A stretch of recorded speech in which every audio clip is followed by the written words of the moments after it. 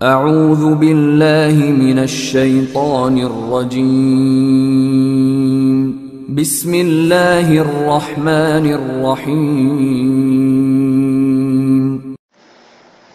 আসসালামু আলাইকুম রহমতুল্লাহ ওবরাকাত আমাদের একজন ভাই প্রশ্ন করেছেন যে আমরা যখন আহ, সালাতে দাঁড়াবো তখন আমাদের দুই পায়ের মধ্যখানে কতটুকু জায়গা ফাঁকা রাখতে হবে আসলে এ ব্যাপারে আহ, হাদিসে কোনো রকম স্পষ্ট বক্তব্য আসেনি যে কতটুকু জায়গা ফাঁকা রাখা লাগবে।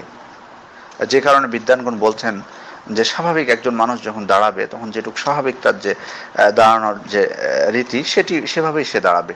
যাতে অস্বাভাবিক তাকে মনে না হয়। অর্থাৎ দুই পা একবার জড়ো করে নেবে না, অথবা একবারে বেশি ফাঁকও করে দেবে না। অথবা বেশি ফাঁকও করে দেবে না। স্বাভাবিকভাবে দাঁড়াবে। স্বাভাবিক যে প্রকৃতি তার সেভাবে নামাজ দাঁড়াবে।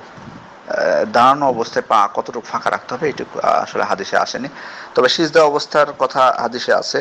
আয়েশা রাদিয়াল্লাহু আনহা বলছেন যে, আমি রাসূলুল্লাহকে একদিন রাত্রে খুঁজে পাচ্ছিলাম না। তো তিনি অন্ধকারে দেখতে দেখতে হঠাৎ করে তার রসুল ইসলামের মানে উনি বলছেন ফাওয়াকাত ইয়াদি আলা কদামি নবী ওয়াসাল্লাম ওয়া হুয়া সাজিদ। আমার হাত রাসূল ইসলামের দুই পায়ের উপর পড়- পড়ল যখন তিনি সিজদা অবস্থায় ছিলেন। তো এই রাদিয়াল্লাহু কথা থেকে বোঝা যাচ্ছে রাসুল ইসলাম যখন সিজদায় থাকতেন, তখন তিনি দুই পাকে এক জায়গায় করে দিতেন। দুই পাকে এক জায়গায় করে দিতেন। তা না হলে ওনার এক হাত কি করে দুই পায়ের উপরে পড়বে? উনি বলছেন ওয়াকাত ইয়াদি আলা কদামাই রসুল কদামাই নবী সাল্লাহ আসলাম তো দুই পায়ের উপর আমার হাত পড়ল। তার মানে বোঝা যাচ্ছে যে তার দুই পা একসাথেই থাকতো এই হাদিস থেকে। তাছাড়া এই বিষয়টি সোহেব না খুঁজে স্পষ্টভাবে এসেছি, অর্থাৎ দুই পা একসাথে করার। এটি হলো সিজদা অবস্থায়, এটি হলো সিজদা অবস্থায়। আর স্বাভাবিক দাঁড়ানো অবস্থায় আপনার পা স্বাভাবিক ফাঁক করে রাখতে হবে।